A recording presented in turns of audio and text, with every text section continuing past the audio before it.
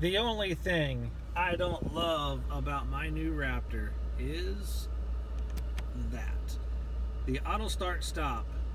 It's just pointless.